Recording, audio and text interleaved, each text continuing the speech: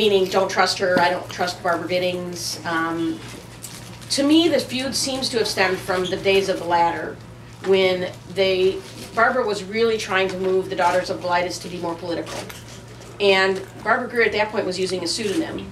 Um, and I, there were probably, it was probably both personality, which we know really has, has fueled a lot of feuds in every city in this country, not just Philadelphia. Um, so some of it had to be personality. But I think also it might have been this difference of politics. While Barbara, in any definition of the word, would be considered feminist, her first allegiance was to the gay movement, not to the feminist movement. So, in making some of those declarations and also being much more in in the streets approach, in the streets with dignified clothing and all of that, but still in the streets, that was a real radical shift. And there were debates in the pages of the ladder, including her allowing Frank Kameny to use the pages of the ladder to debate these issues that likely sparked some really differences of, of style and everything. But the bottom line, it felt very personal. It wasn't evidence based. Like she didn't say, don't trust Barbara Gittings because of. It was really just, don't trust her. I don't trust her. I don't know what her motivations are. And um, I don't, I don't really have a answer. There's going to be a biography. I think there's a biography of Barbara Greer uh, coming out, um, if I'm not mistaken. So that probably will have much more meat about that feud. Well, I can shed some light on Okay. that. Uh, uh, Barbara Gittings would tolerate no separatism, because I remember inviting her to the first lesbian dance that we had uh, in West Philly. She, absolutely not. But Mhm. It was gay, it was gay, gay. right. And Barbara Greer was, uh, in all fairness, a very thorny person, and Barbara Gittings was not thorny. Well, She had a very sweet side, but also a very strong, right.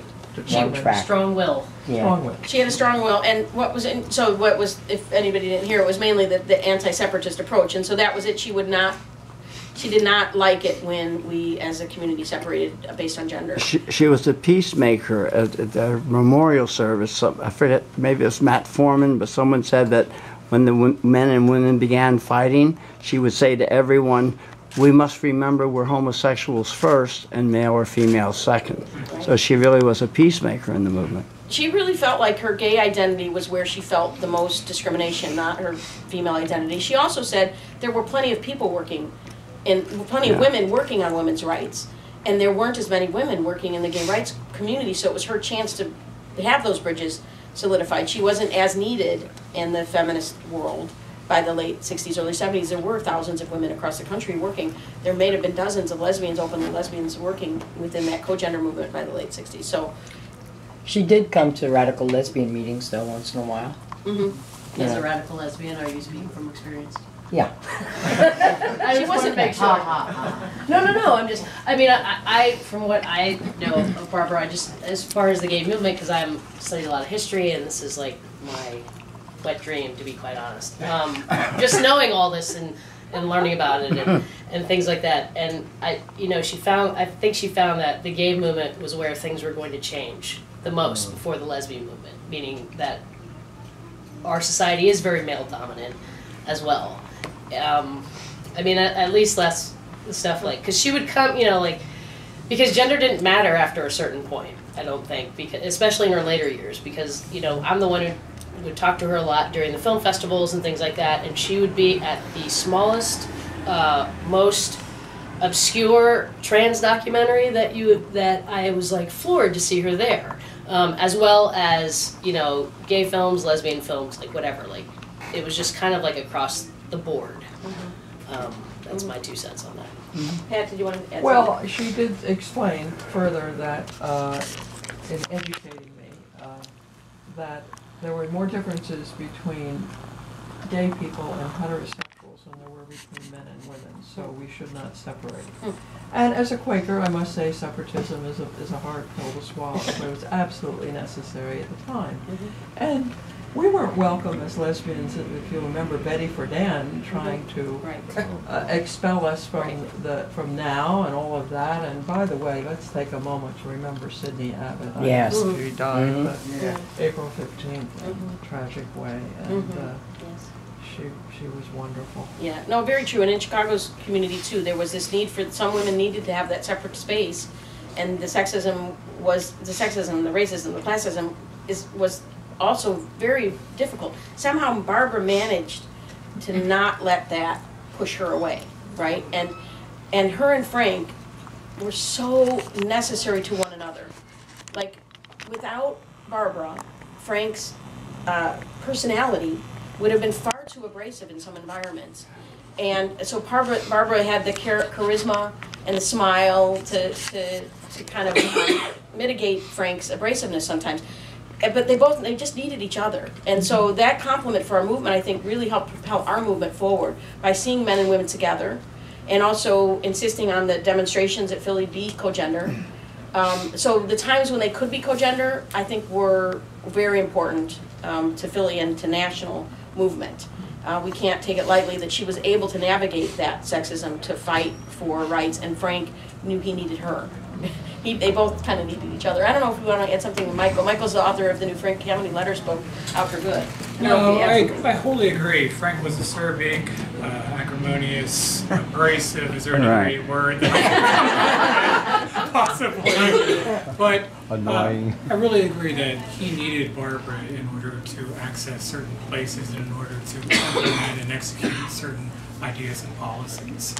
I would say oh, Do you know how one thing, Do you know how they met, Tracy? Because I don't. No. Okay. she, what I was most touched by is Barbara and Kay were my greatest supporters in the gay movement.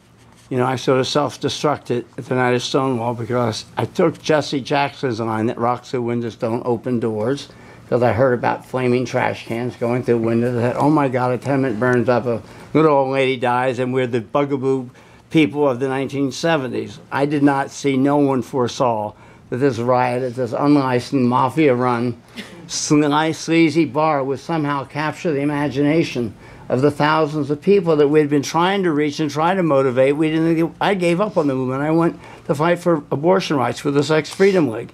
I organized Lemar with Allen Ginsberg. I opened a button store against the war in Vietnam. I went into other movements. The gay movement was my home movement, but I feel that I grew out of it. I saw bigger issues facing our society. I felt so relieved when Stonewall happened because suddenly, where there was no one but me, there were hundreds and thousands of fabulous, articulate young people like Marty Robinson from GAA, and and uh, and I'm trying to think of who would be a very good example of an outspoken lesbian spokesperson. I remember Del Martin, who Karla Jay oh yes, Car- well Karla Jay I didn't know because I think she was more of a. But but one thing was what great about I only saw Del Martin in a dress one time, and that was at a meeting in uh, Washington. And some guy, some bigot, came in with a huge tube of Vaseline and said, "I have Vaseline for the queer rabbi. I have Vaseline for the queer rabbi."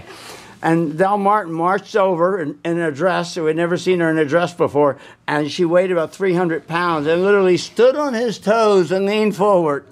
And that, I think, was the defining moment in my mind of her being a real hero. Yeah, but Barbara, Barbara and Kay, as you said, really kept you. and they talked about the lies. What people don't appreciate is Barbara was the real builder of the movement because she talked about the lies in the library. And I was one of those who went to the library and only found case histories of piano teachers seducing their, their students in 1872. And she made it an issue to try to get knowledge and information in those places where people would look. Organizing the A caucus of the American Library Association has implications far beyond a lot of other things, and yet it's totally unappreciated ground laying work that really built this movement. That's what Kay and Barbara de- What's devoted themselves to. Gay librarians is they had just started their group, and they welcomed Barbara in.